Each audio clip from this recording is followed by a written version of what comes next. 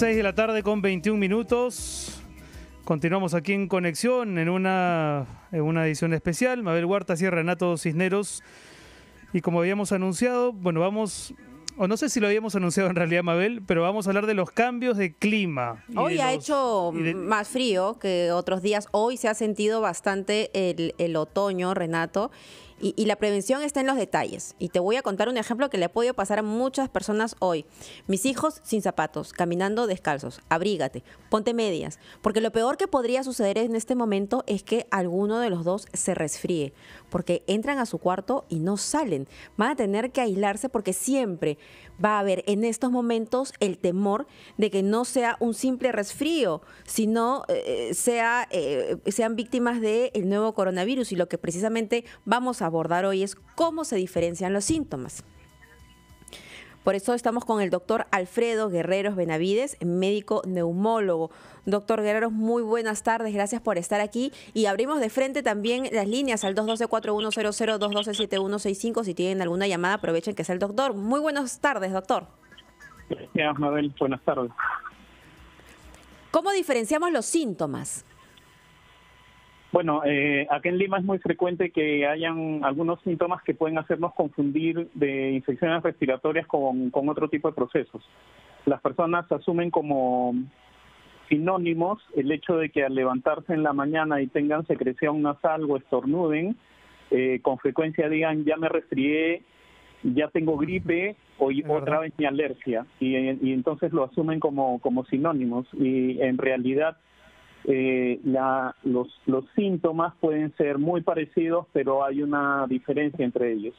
El resfrío común es una infección muy banal que suele autolimitarse en dos o tres días, que se acompaña generalmente de secreción nasal, a veces con un poco de dolor de cabeza, generalmente cursa sin fiebre y uno puede recuperarse por completo de manera rápida.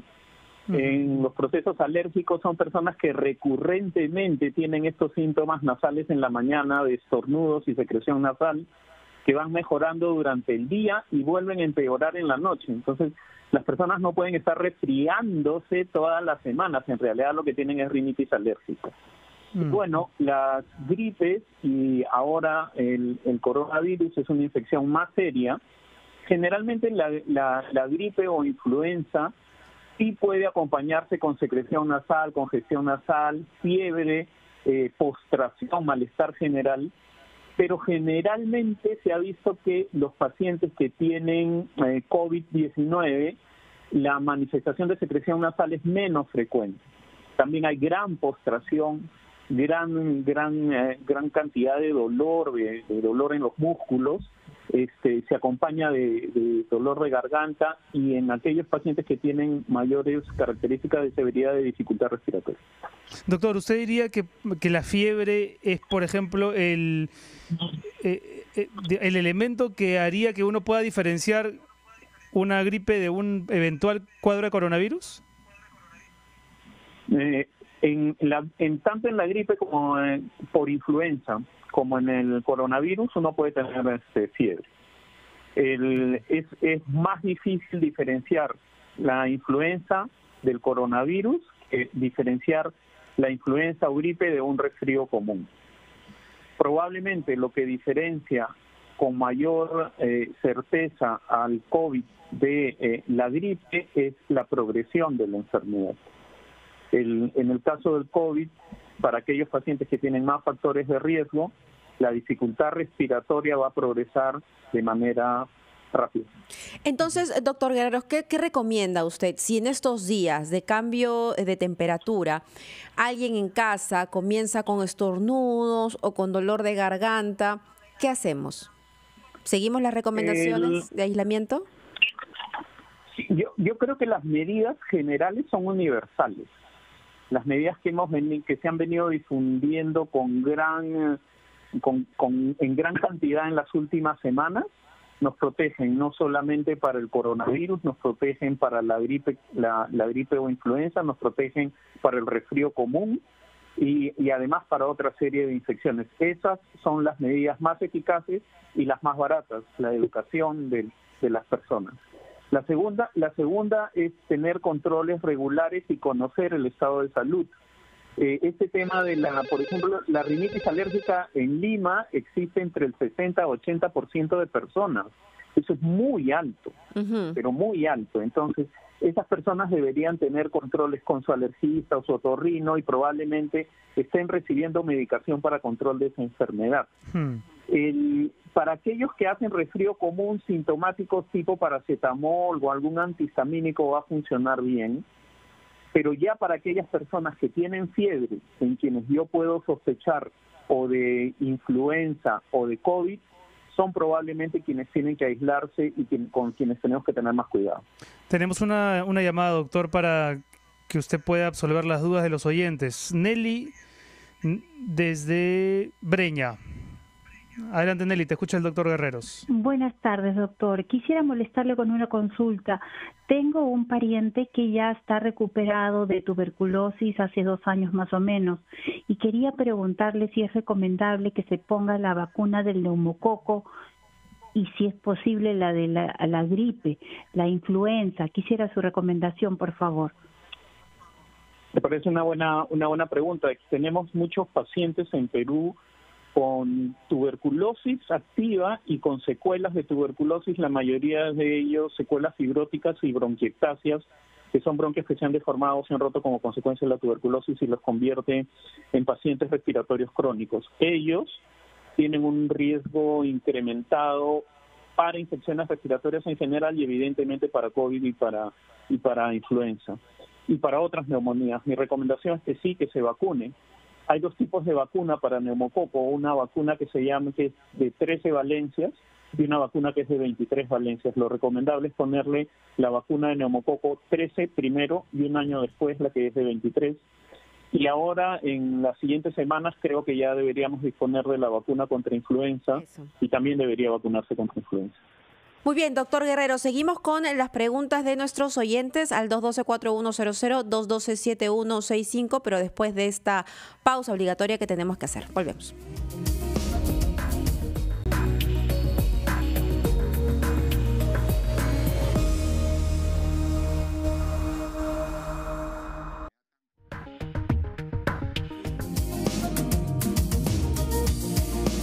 34 continuamos con el doctor Alfredo Guerreros Benavides, él es médico neumólogo y está absolviendo sus consultas, estamos recibiendo sus llamadas porque, ya lo dijimos, en esta época comienzan a bajar las temperaturas y la posibilidad de resfriarnos en un descuido, porque de repente salimos muy desabrigados, dormimos con la ventana o la puerta abierta, nos entró el aire y comenzamos con el achís.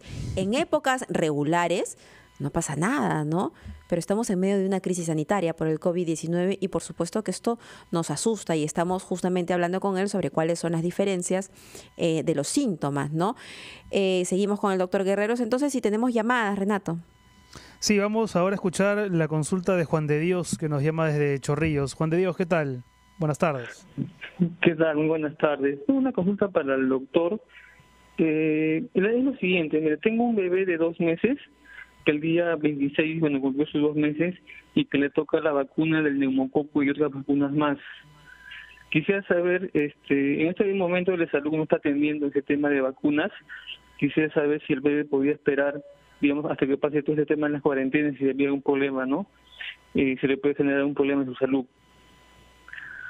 En general podría esperar, eh, puede esperar por lo menos un mes eh, para, para retrasar su dosis en el Perú la vacuna en niños de neumococo se aplica entre los dos y tres meses y los cuatro y cinco meses de, edad. No creo que haya problemas por eh, que usted retrase la vacuna entre 15 o 30 días, pero sí no debe descuidarla. Igual tiene que vacunarse. La vacuna contra neumococo en niños, que es precisamente la vacuna conjugada que se llama 13 valente, ha sido de un impacto tremendo favorable para disminuir el número de neumonías en niños y en adultos porque tiene una ventaja que se llama eh, inmunidad de rebaño. Muy bien, Marcela, desde el Cercado de Lima. Marcela, muy buenas noches, el doctor te escucha.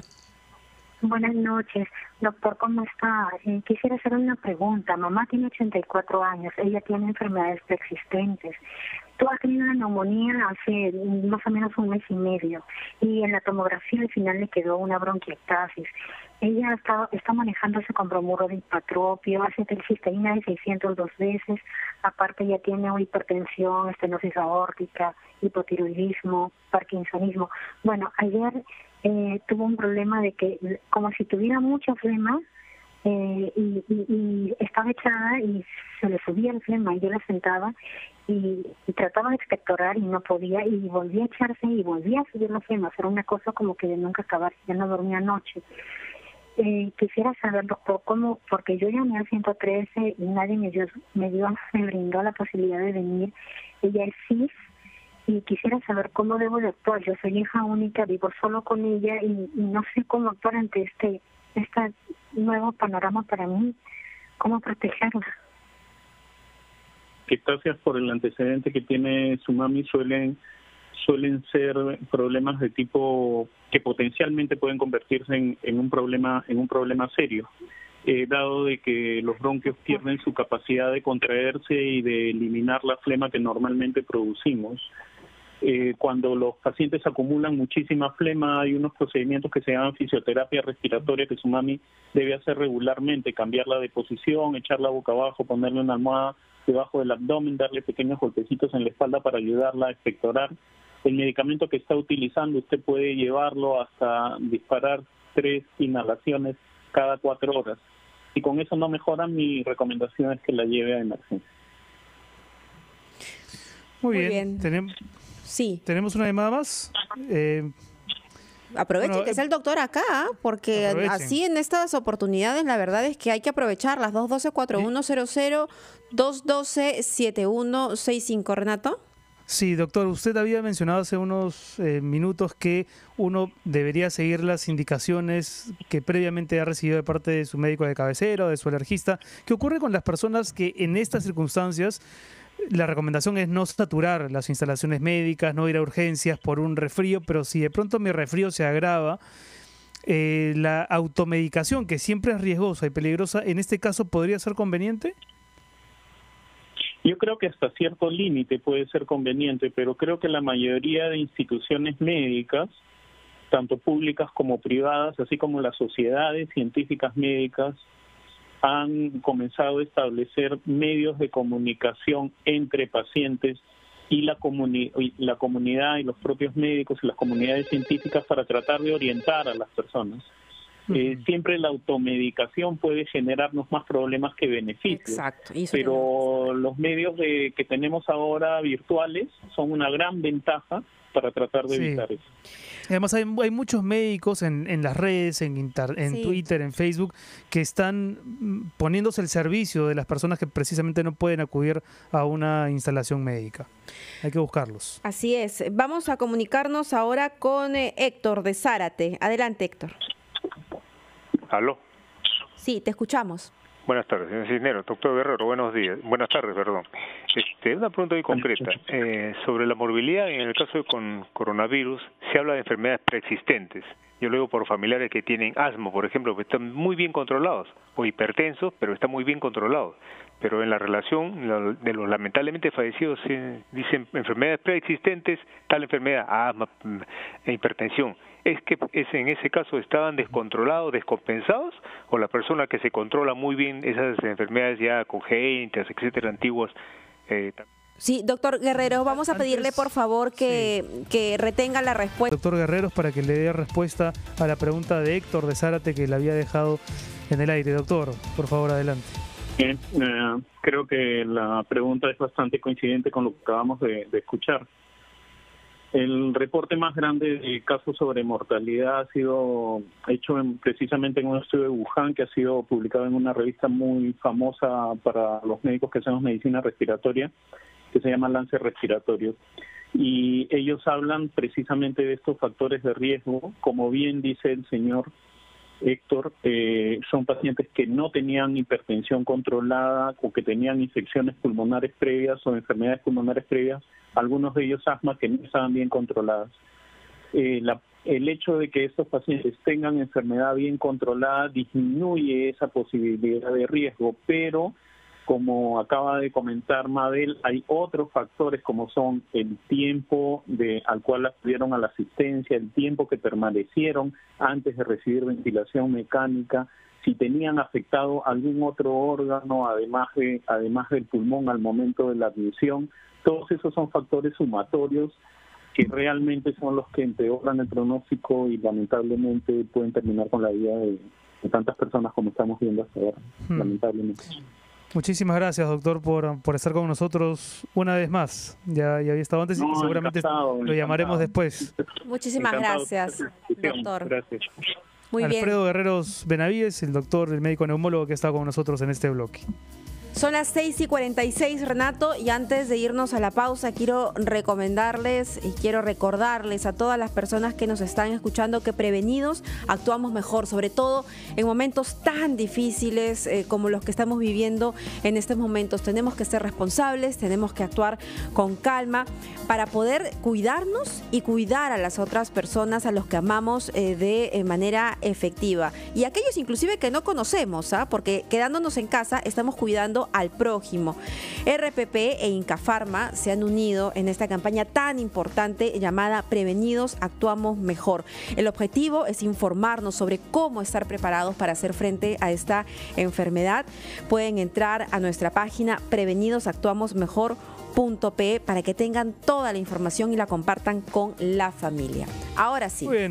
A esta hora nos vamos a una pausa, un corte y regresamos con otro sketch de Hernán Vidaurre para, para pasar un buen rato aquí en el programa. Volvemos.